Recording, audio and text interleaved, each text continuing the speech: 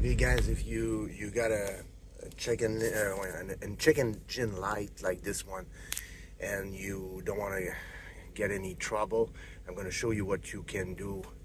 You only have to use a um, a tool like this. It's an Ancel um, OBD2, and then you need to uh, change the fuse inside the truck. I'm going to show you where it is on a Kenworth T660.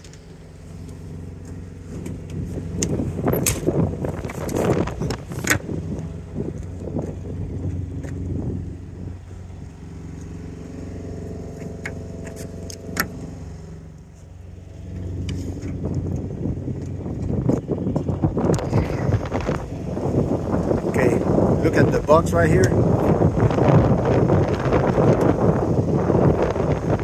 The after treatment one, the last one here, it's a 10 amp.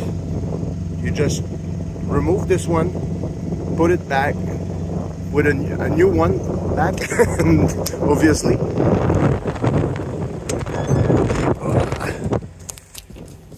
Oh, I love winter and then what you do is uh, you uh, you erase you just erase the code man, like this.